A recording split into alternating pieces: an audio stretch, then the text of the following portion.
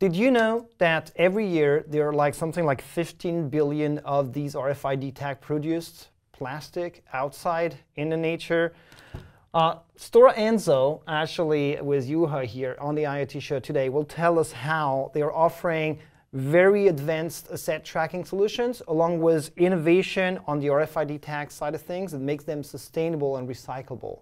Today on the IoT show.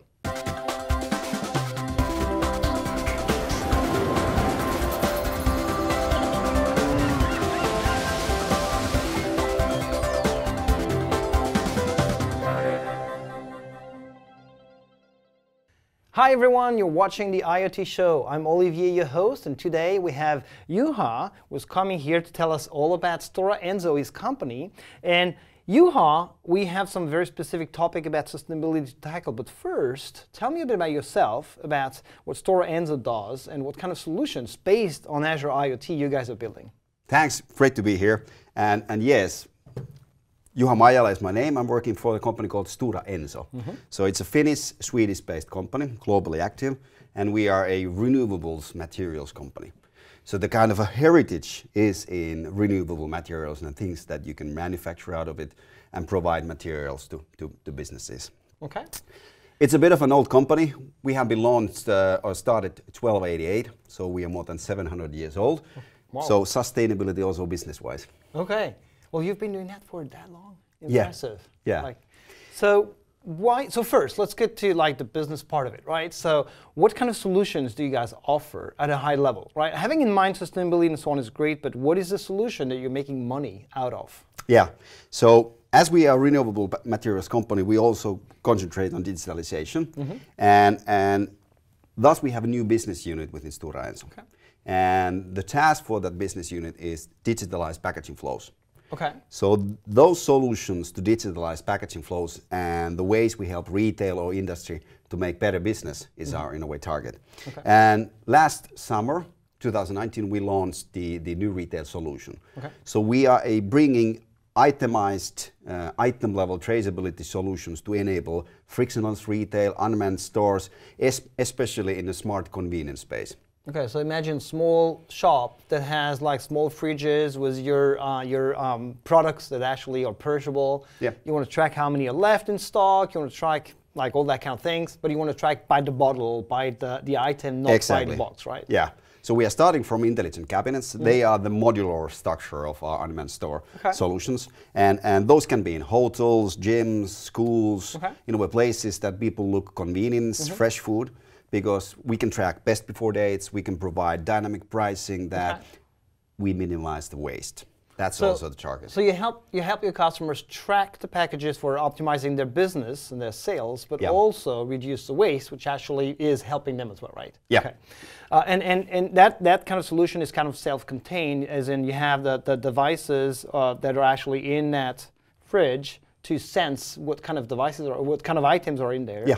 Uh, but you also collect data and use analytics and then dashboarding and so on in the cloud, leveraging Azure IoT, correct? Yeah. Those are, Azure is really key as a platform for us. So we have built our platform on top of it. We use Azure IoT Hub, plus of course our software is on top of it. Yeah. And and the, really the idea is that that these devices, these are the, the fridges, those are the IoT devices that connect to, to the Azure. And and with this one, consumer approaches the cabinet mm -hmm. and uh, shows credit card or mobile payment app, which yep. then automatically checks the credit, uh, that's everything is okay, yeah. and opens the cabinet. Okay. Then a consumer picks anything, puts back. We can have 25 to 30 SKUs. We can have up to 200 items in the cabinet. Okay. So it's actually quite amazing amount of stuff that you can put in there. Yep, yep. And in the cases that we have done with our customers, we are reaching almost 100% yield. So meaning with this amount of goods, this amount of SKUs, we have really good reliability. Yeah, it's like certainly uh, even better than humans doing the inventory in the aisles when you see them in the shops, you know, exactly. like doing that, yeah. right? Yeah. Awesome. So let me actually challenge you a little here. So yep. you're talking about like uh, cutting on waste and being sustainable. Um, RFID tags are known to be made out of plastic, yeah. which is not a good thing. I know you guys are innovating in that space, so I need to learn a bit more. So Microsoft, you know, made recent announcements about our commitment uh, to reducing the footprint even better, like to kind of cancel the Microsoft footprint um, since its existence. What are you guys doing to contribute? As everyone has to do its part, right? Actually, that's that's a good comment, and, and in that sense, it's true. For example, in apparel industry, it's 15 billion garments tagged with uh, plastic-based tags. 15 billion. 15, one okay. five, okay. 15 billion. Yeah, yeah. So you can imagine that it's a huge amount. So even though you think about it, it's, it's a small hang tag. Yeah, yeah. But when it's plastic based, it starts to make an, a difference. Yeah. And for us, Stora Enso launched uh, a little over a year ago Eco RFID tag technology. Oh, okay. So it's a new technology, sustainable technology to print RFID tags on a paper, do the chip assembly differently, and enable much more wiser converting processes afterwards.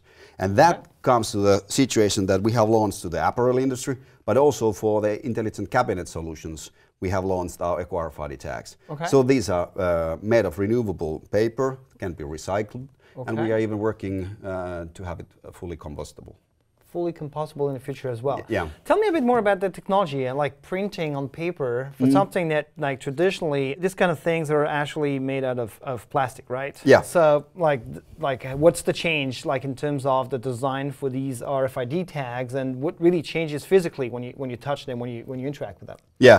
The main main simplest thing is, is here is, is actually that that you have here the hang tag when you buy yeah. a buy your clothes.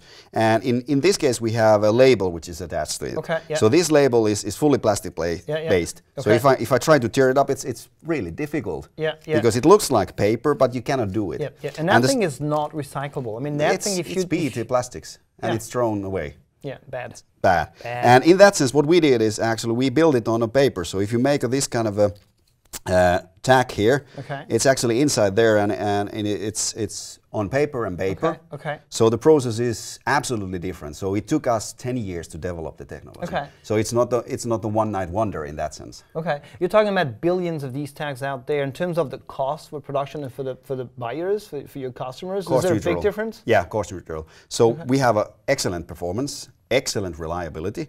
Uh, we have cost neutrality and the differentiator for us is really the sustainability.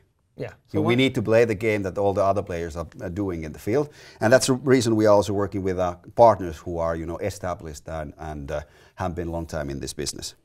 So in that sense, my, my, my kind of a trick always is yeah. when you have this kind of a hang tag, yeah. nowadays you can do this, you can tear it, throw it to the paperboard recycling, and that's yeah. the simple thing with that yeah. one. Yeah. I hope um, that you're going to actually have something for consumers, well, beyond actually being able to just like tear it, to mm. really know it's something that is recyclable. You guys need to be visible, I think. Yeah, and, and we have the visibility in, in our uh, you know labels. Okay. So so if you if you for example use it in the new retail mm -hmm. solution, you can you take your your milk or whatever yeah. you're buying your, your sandwich there, and then if you start to tear it off, you can see that it's it's it's paper based, so you can clearly see it from there. I love that. Good. Juha, that's all great news. Anything else you want to add? No, in that sense, I'm more than happy to tell you, but this is a solution which is already out there in the market. Yes. It's available, it's functional. It's not a kind of a thing that let's see in the future, can this make like sense? It. it makes sense now. I like that. And so actually why would company at the same cost would not use your solutions? I don't know why, and they're using Azure IoT in the backend. Yeah. So, even better for me. Yeah. Uh, so Juha, thanks a lot for making the trip over here. Thanks, uh, my pleasure. If you want to learn more about uh, Stora Enso and the fantastic innovations and solutions that they deliver, you can go to aka.ms slash IoT show slash Stora Enso, E-N-S-O. Thanks very much for watching the IoT show. Juha, thanks for coming Thank over you. here. I uh, hope to see you soon. Bye. Bye-bye.